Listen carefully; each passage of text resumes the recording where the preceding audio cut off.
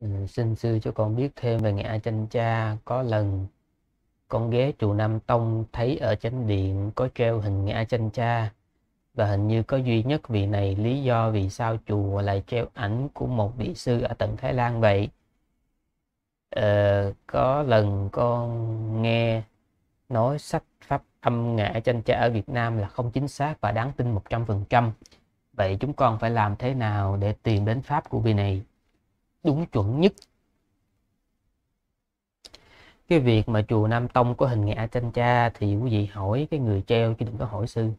Nha. Cái hồi mà sư uh, vô chùa là nó đã có cái hình ở đó rồi. Uh, và cái vị treo uh, chắc chắn cái cái người cúng cái hình á, là cái người có cảm tình với ngài ngài tranh cha mà bây giờ á bây giờ á, quý vị có nhớ hồi đầu sư kể cái cái cái vụ cái lư hương không? À, thành thử ờ, à, không ai dám đụng. Trừ cái người biết. Bây giờ cái người biết là ai? Ai biết giờ? À, thành thử bây giờ mà nói nó kỳ. Chứ giờ mình lỡ mình đụng vô á ha mình lỡ mình đụng vô là có có ông cụ bà cụ nào nó vô nói sư biết không? Uh, nhà con ba đời uh, hộ độ chùa từ hồi ngày siêu việt á cho tới bây giờ đó. Rồi con cúng dường cái hình ngã trên cha treo trên điện đẹp biết là bao nhiêu mà bây giờ cái hình nó đâu rồi sư?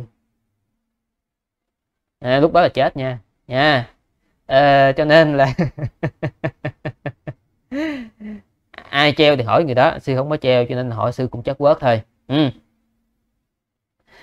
rồi um, cái phần về phần uh, các cái bản dịch ngã chân cha qua tiếng Việt thì như sư nói người dịch một số uh, tại vì uh, sư chỉ đối chiếu uh, sư chỉ đối chiếu một số thôi chứ sư không đối chiếu tất cả làm sao mà đối chiếu sư đâu có rảnh đâu sư đối chiếu hết. Nhưng mà trong một số sư đối chiếu thì sư thấy là người dịch có chèn cái tư kiến của họ và vào ở trong cái bản dịch. Tức là có những cái ngài trên cha họ không có nói ngày không ngày không có nói nhưng mà cái người dịch á để mà suy để mà củng cố cho cái cái cái, cái tư kiến của mình cho nên là chèn cố tình chèn vô trong đó. Ờ, cho nên là tôi không dám nói tất cả tại vì biết đâu đó ở trong đó vẫn có những cái bản dịch chuẩn nhưng mà tại mình không biết được. Quý vị biết cái tâm lý mà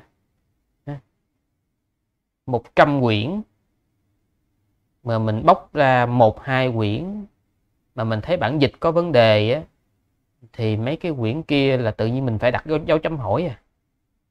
Cái thuộc về cái tâm lý rồi trong khi đó bây giờ mình không rảnh để mà mình rà cái trách nhiệm rà đó là của người khác chứ không phải của sư.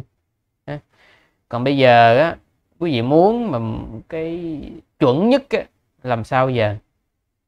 Một là học tiếng thái học tiếng thái coi cái bản của ngài bằng cái tiếng thái đó thì nó nó quả mai đúng chuẩn nhất nha. Ờ, còn mà theo bản dịch tiếng anh ấy Ờ, thì cũng tương đối thôi tương đối thôi. Nhưng mà à, dù sao thì bây giờ tiếng Anh thì nó vẫn dễ hơn. Là bây giờ bắt mình học tiếng Thái thì nó kẹt quá. Cho nên kẹt lắm thì bây giờ quý vị học tiếng Anh và đọc bằng tiếng Anh nha đọc bằng tiếng Anh. À, chứ còn bản dịch tiếng Việt thì um, cái kiểu uh, bây giờ là nó phải uh, dùng cái từ là gạn đục khơi trong gạn đục khơi trong. Tức là mình nghe mà cái câu nào đó nó đúng với chánh pháp ấy, thì ờ, mình chấp nhận. Còn câu nào mà nó hơi kỳ kỳ á ờ, để qua bên. Đấy, giờ chỉ giờ chỉ có nước vậy thôi chứ giờ sao giờ?